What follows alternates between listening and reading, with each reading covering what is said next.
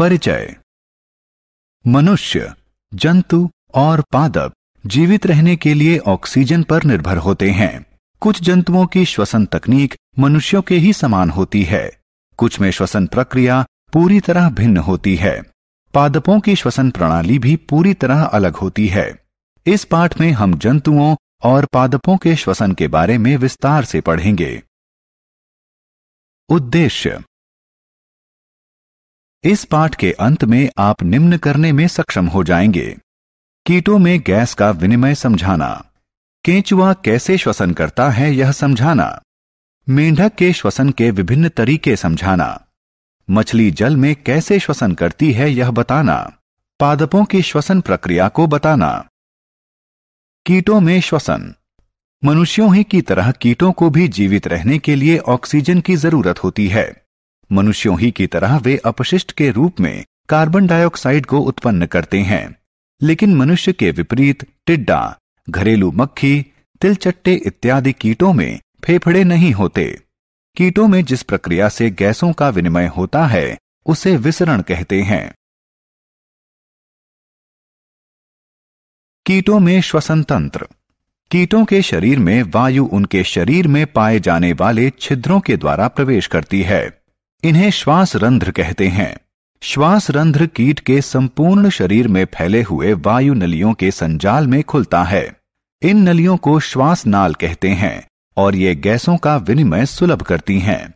कोशिकाओं तक ऑक्सीजन श्वास नाल तंत्र के माध्यम से पहुँचती है और कोशिका से श्वास नाल तंत्र के माध्यम से कार्बन डाइऑक्साइड से लेकर श्वास रंध्रों से कीट के शरीर से बाहर निकल जाती है।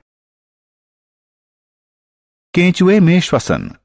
केंचुए जैसे कीटों में फेफड़े नहीं होते, न ही उनके पास नाक होती है। वे अपनी त्वचा से श्वसन करते हैं। वे वायु और मृदा से ऑक्सीजन ग्रहण करते हैं। जब ऑक्सीजन उनकी आर्द्र त्वचा के संपर्क में आती है तो यह विभक्त हो जाती है। यह छोटी छोटी रक्त वाहिनियों के माध्यम से ग्रहण होती है और पूरे शरीर में संचारण करती है। यही रक्त वाहिकाएँ कार्बन डाइऑक्साइड को त्वचा से बाहर निकालने के लिए ले जाती हैं। ऑक्सीजन के प्रभावी ग्रहण के लिए केंचुए अपने शरीर को आर्द्र रखते हैं। मेंढक में श्वसन। मेंढक में मनुष्यों के समान ही फेफड़े होते हैं। वे अपने फेफड़े का प्रयोग श्वसन के लिए करते हैं। लेकिन उनके फेफड़े ज़्यादा विकसित नहीं होते। इसलिए वो दो प्रकार के श्वसन का प्रयोग करते हैं। एक, मुख श्वसन और दूसरा, त्वचीय श्वसन। मुख श्वसन में ऑक्सीजन ग्रहण की जाती है और इनके मुख में स्थित रक्त वाहिनियों के माध्यम से कार्बन डाइऑक्साइड बाहर निकल जाती है। इस प्रक्रम के दौरान फेफड़े का रास्ता बंद रहता है। त्वचीय श्वसन में ऑक्सीजन त्वचा पर स्थित रक्त वाहिनियों के माध्यम से अवशोषित की जाती है। यह श्वसन तभी प्रभावी होता है जब त्वचा आर्द्र हो। इस श्वसन तकनीक का प्रयोग मेंढक जल और थल दोनों जगह करते हैं। मछलियों में श्वसन। क्योंकि मछली एक जलीय जीव है, इसका श्वसन तंत्र थलीय जंतुओं से भिन्न होता है। मछली के पास गलफड़ यानी गिल होते हैं, जो इसे जल में श्वसन करने में सहायक होते हैं। अतः मछली को श्वास लेने के लिए जल की सतह पर आने की कोई बाध्यता नहीं होती। वे ऑक्सीजन युक्त जल को अपने मुँह में लेती हैं और उसे गलफड़ के पास भेज देती हैं।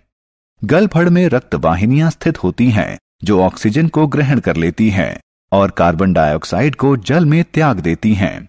ऑक्सीजन विहीन जल फिर गलफड़ के माध्यम से शरीर से निकाल दिया जाता है। पादप और श्वसन।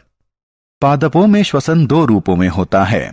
एक, जब पादप के रंध्र ऑक्सीजन ग्रहण करते हैं और कार्बन डाइऑक्साइड निर्मुक्त करते हैं, ये रंध्र पादप के संपूर्ण शरीर पर उपस्थित होते हैं, यहाँ तक कि जड़ों में भी।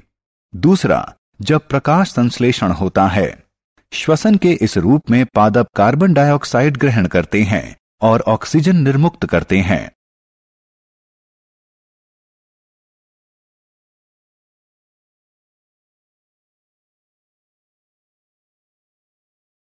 सारांश।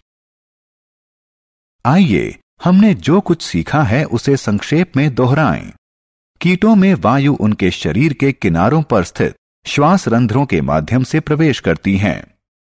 केंचुआ अपनी त्वचा के माध्यम से गैसों का विनिमय करता है। मेंढक के पास मनुष्यों के समान श्वसन के लिए एक जोड़े फेफड़े होते हैं। उनकी त्वचा आर्द्र और श्लेष्मीय होती है। वे अपनी त्वचा से भी श्वसन कर सकते हैं। वे अपने मुख से भी श्वसन करते हैं।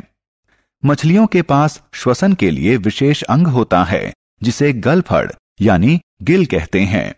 पादपों में श्वसन के दो रूप होते हैं। एक रूप में ऑक्सीजन ग्रहण की जाती है और कार्बन डाइऑक्साइड निर्मुक्त की जाती है।